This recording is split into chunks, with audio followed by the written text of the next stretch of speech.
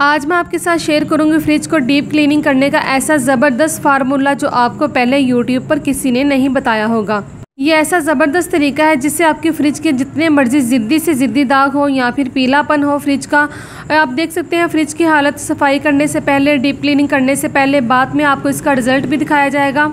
तो बिना टाइम ज़ाया किए वीडियो को स्टार्ट करते हैं। बिसमीम वालेकुम प्यारी यूट्यूब फैमिली कैसे हैं आप? उम्मीद करते हैं सब खैरियत से होंगे और अलहमदिल्ला मैं भी ठीक हूँ।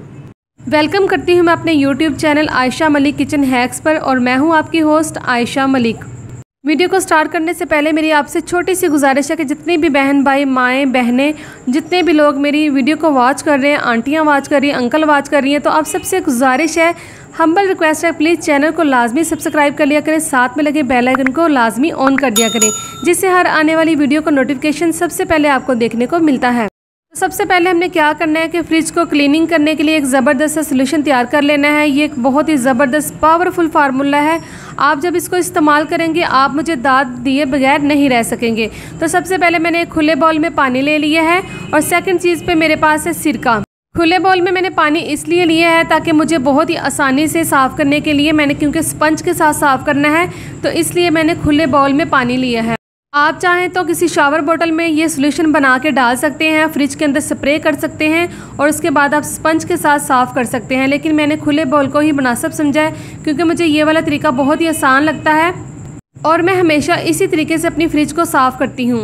सबसे पहले हमने एक बाउल में एक कप पानी ले लिया है और यहाँ पे मेरे पास विनीगर है वाइट विनीगर जो सबके किचन में हर वक्त अवेलेबल होता है और जो हम चाइनीज़ खानों में इस्तेमाल करते हैं। सफ़ेद सिरका विनीगर जो है मैंने हाफ़ कप इसके अंदर ऐड करना है, क्योंकि एक कप पानी है तो सिरका जो इसमें आधा कप ही जाएगा। तो आपने भी इसी तरीके से बनाना है। अगर आपकी फ्रिज बहुत ज़्यादा दाग धब्बों से भरी पड़ी है, उसके अंदर बहुत ज़्यादा निशान पड़े हुए हैं, पीलापन है तो ये वाला सोल्यूशन बना के यूज़ करें। आप दुआएँ देंगी मुझे इन ताला।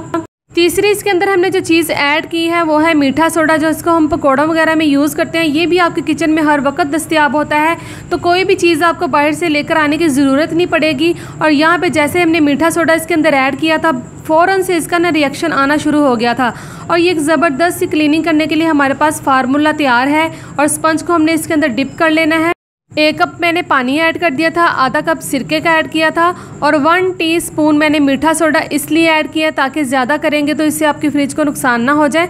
बल्कि नुकसान तो कोई नहीं होगा, आपकी फ्रिज बहुत ही चमकदार हो जाएगी, लश्कारे मारेगी इन ताला। आप देखते जाइएगा, वीडियो को बिल्कुल भी स्किप मत कीजिएगा। इसी तरह आपने वीडियो के साथ जुड़े रहना है, इसको एंड तक फुल वॉच करना है। यहाँ पे आप देख सकते हैं कि मैंने पानी भर के रख लिया है, इसको वॉश करने के लिए सारी चीज़ें मैंने इसकी निकाल के बाहर रख दी थी। तो भी मैंने इसके अंदर से मटेरियल निकाल के रखा है ना, इसको मैं बाद में वॉश करूँगी। सबसे पहले तो मैंने फ्रिज को अंदर से क्लीनिंग करनी है। मेरे तमाम व्यूवर से रिक्वेस्ट है कि प्लीज़ वीडियो को काट काट के मत देखा करें। आप इसको फुल वॉच किया करें ताकि आपको सारी जितनी भी तरीकाकार होता है ना, अच्छी तरह से समझ आ जाए। वीडियो को बिल्कुल भी स्किप ना किया करें, काट काट के ना देखा करें, फुल वॉच कर लिया करें।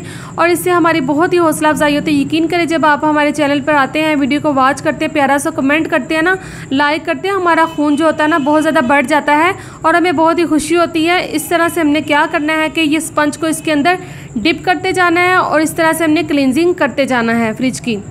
जो हमने पहला सोल्यूशन तैयार किया था, उससे हमने फ्रिज की क्लीनिंग इस तरह से कर लेनी है। स्पंज के साथ तमाम अंदर से डोर वगैरह, अंदर से सारी फ्रिज को क्लीन कर लेंगे और ये इसके साथ काफ़ी फ़र्क पड़ेगा। आपके जो दाग धब्बे होंगे ना, सारे साफ़ हो जाएँगे।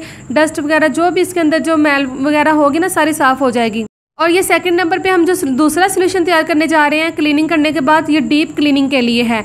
इसके अंदर मैंने एक कप पानी ऐड कर दिया, एक कप पानी से कम ही है ज़रा ये, और इसके अंदर मैंने मीठा सोडा, एक चम्मच यानी कि एक चाय का चम्मच ऐड कर दिया था, और इसके बाद मैंने इसके अंदर ऐड करना है, ये बर्तन धोने वाला जो डिश वाश लिक्विड होते हैं ना, ये मैं इसके अंदर ऐड कर दूँगी। जैसे कुछ लोग होते हैं कि इसके अंदर सर्फ ऐड कर देते हैं। सर्फ ऐड करने से इस फ्रिज के अंदर से अजीब सी स्मेल पैदा होनी शुरू हो जाती है। या फिर वो क्या करते हैं कि नमक भी ऐड कर देते हैं। नमक आपको पता है कि आपकी फ्रिज के लिए बहुत ही ख़तरनाक है। फ्रिज को अंदर से जंग लगा देगा। नमक आपने बिल्कुल भी इसके अंदर ऐड नहीं करना और ना ही आपने इसके अंदर किसी किस्म का सरफ़ जो सोडे वाला होता है या फिर जो हम किसी भी ब्रांड का सरफ़ यूज़ करते हैं। आपने जस्ट इसके अंदर पानी ऐड करना है। आधा कप और उसके बाद आपने क्या करना है कि मीठा सोडा वन टीस्पून और इसके बाद हमने तीसरी चीज़ जो ऐड करनी है डिश वाश लिक्विड जो भी आपके पास जिस मर्ज़ी कंपनी का आपने उसको यूज़ कर लेना है, तकरीबन हमने इसके अंदर तीन से चार चम्मच मैंने ऐड कर दिए थे। आप अपने फ्रिज के हिसाब से कर लीजिएगा। पहले मैंने अपनी फ्रिज की क्लीनिंग की थी, जस्ट अब मैं इसके बाद डीप क्लीनिंग करने के जो दूसरा फार्मूला रेडी किया था, उसके साथ मैंने डीप क्लीनिंग करनी है। आप देख सकते हैं इसके अंदर कितनी डस्ट वगैरह जमी हुई है, जो बिल्कुल भी हमें स्पंज के साथ हमारे साफ़ नहीं होती तो हमने क्या करना है, कोई सा भी आपके पास वेस्ट ब्रश पड़ा हुआ है, मैंने तो ये अलग से रखा हुआ है, इसका बहुत ज़बरदस्त हैक बना के, ये देखिए आपको नज़र तो आ ही रहा होगा, उसका बूथा सड़ा हुआ है और उसकी गर्दन काली हो चुकी है। तो ये मैंने खुद की है, चूल्हे के ऊपर इसको मोमबत्ती के साथ गर्म करके थोड़ा सा इसको मैंने टेढ़ा कर लिया था ताकि बहुत ही अच्छे तरीके से हमारी जो भी हम चीज़ें क्लीनिंग करते हैं ना, अच्छी तरह से जहाँ जहाँ हमारा हाथ नहीं पहुँचता या हमारा फिर स्पंज नहीं पहुँचता, ये वाला जो ब्रश है ना, कमाल की इसके अंदर डीप क्लीनिंग करेगा। फ्रिज के अंदर साइड पे करने के बाद हमने क्या करना है, ये रबड़ होती है ना, इसके अंदर इतनी डस्ट वगैरह मैल कुचैल जम जाती है, जिससे आपकी रबड़ जो होती है इतनी सख्त हो जाती है और उसके बाद ये ख़राब भी हो जाती है तो आपने इसको ख़राब होने से बचाने के लिए क्या करना है, वही आपने टेढ़ी टेढ़ी गर्दन वाला आपने क्या करना है? कि ब्रश यूज़ करना है, जो मैंने रेडी किया है तो आप भी इसको कर सकते हैं। मैंने मेरे चैनल पे इसकी वीडियो भी मौजूद है तो आप इसको ना बना सकते हैं। बहुत ही आसान सा है। कोई नया ब्रश ले लें, पुराना ले लें, कोई सा भी आपके पास पड़ा है, आपने इसको बना लेना है। तो मैंने ये रखा हुआ स्पेशल अपनी जूसर मशीनें वगैरह, जो बाहर से साफ़ करती हूँ, अंदर से जहाँ पर हाथ नहीं जाता स्पंज नहीं जाता, या फ्रिज की इस तरह से क्लिनजिंग करने के लिए। ਹੁਣ ਮੇਰੇ ਸੋਨੇ ਸੋਨੇ ਵੀਵਰਸ ਮੈਂ ਤੁਹਾਨੂੰ ਦੱਸਦੀ ਜਾਵਾਂ, ਇਹ ਜਿਹੜੀ ਸਾਡੀ ਫ੍ਰਿਜ ਹੈ ਨਾ, ਇਹ ਵਿਚਾਰੀ ਮਹੀਨਾ ਹੋ ਗਿਆ ਇਸ ਤਰ੍ਹਾਂ ਹੀ ਪੜੀ ਹੋਈ ਹੈ। ਨਾ ਇਹਦੀ ਇਸ ਕੂਲਿੰਗ ਹੁੰਦੀ ਸੀ, ਨਾ ਇਹਦਾ ਕੁਝ ਹੁੰਦਾ ਸੀ, ਵਿਚਾਰੀ ਖਰਾਬ ਪਈ ਹੋਈ ਸੀ। ਅਸੀਂ ਕਿਹਾ ਚਲੋ ਇਹਦੀ ਸਫ਼ਾਈ ਕਰ ਲਈਏ। और दूसरी बात मैं आपको बताऊँ कि इसका ना कंप्रेसर जो है वो ख़राब हो गया था और महीना हो गया, ये ऐसे पड़ी है। हम लोग पंद्रह सोलह दिन अपने नानों के घर रह के आए थे, मेरी मामा की तबीयत आपको पता है कि बहुत ख़राब थी, उनका बीपी शूट कर गया था, इस वजह से ना तो फिर इसके ऊपर टाइम ही दे पाए, इसको ठीक ही नहीं करवा पाए। तो अब हम घर में आए इन ताला ये कल हमारा जो फ्रिज है ना, बिल्कुल ठीक हो जाएगा तो मैं इसकी वीडियो भी बनाऊँगी।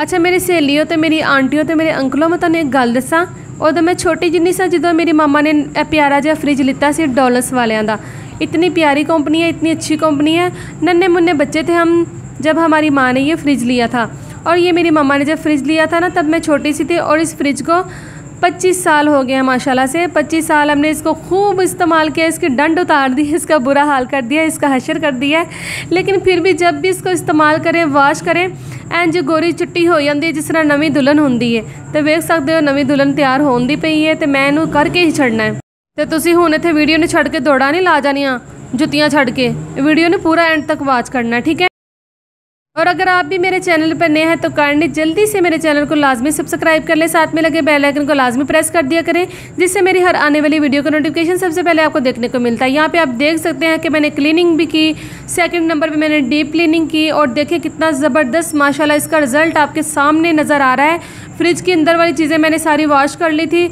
और उसके बाद मैंने क्या किया, गीला कपड़ा, सूती कपड़ा लेके अंदर से सारी मैंने क्लीनिंग की, जो गीला पानी कर करके ना गीला कपड़े के साथ उसके अंदर मैंने सफ़ाई कर ली थी। कोई इसके अंदर मैंने पाइप लगा के पानी के फुहारे नहीं छोड़े, मैंने बिल्कुल कपड़े के साथ साफ़ किया है। रेशमी कपड़ा आपने बिल्कुल भी यूज़ नहीं करना, आपने यहाँ पे सूती कपड़ा यूज़ करना है। लोन का कोई कोई सा भी ले लीजिएगा। और ब्रश का कमाल देख लें, टेढ़ी टेढ़ी गर्दन वाले का कमाल देखे, उसने अंदर से कितनी डीप क्लीनिंग की। देखे, ये सारी चीज़ें जो अंदर जो होती है ना, जिसके ऊपर हमारा स्पंज नहीं जाता, वो मैंने टेढ़ी गर्दन वाले से ही सफ़ाई की है। तो जली गर्दन वाले ने हमें कितना काम दिया। यकीन करें, ये जो हम चीज़ें फेंक देते हैं, जिसको वेस्ट समझ गए, ये हमारे बहुत ही काम आती हैं। हम इनको जब इस्तेमाल करते हैं तो हमारे दिल से ना बहुत दुआएँ निकलती हैं इन चीज़ों के लिए। लेकिन ये तो चीज़ें होती हैं ना, बेजान होती हैं। हमें खुशी होती है कि जी हमने ये वाला हैक बना के तैयार किया है। इसके साथ हमने अपना काम भी कर लिया है और जुगाड़ भी लगा लिया है। यहाँ पे आप देख सकते हैं कि फ्रिज मेरी माशाल्लाह से ऐसे लग रहा है जैसे अभी अभी मार्केट से लेकर आई हूँ, नई नकोर हो गई है। कितनी ज़बरदस्त साफ़ सुथरी होगी माशाल्लाह से ये वाला तरीका आप भी करके अपने फ्रिज को चमकदार बना सकते हैं। तो मिलते हैं एक नई वीडियो के साथ, तब तक के लिए अपना बहुत सा ख्याल रखिएगा, अल्लाह हाफिज़।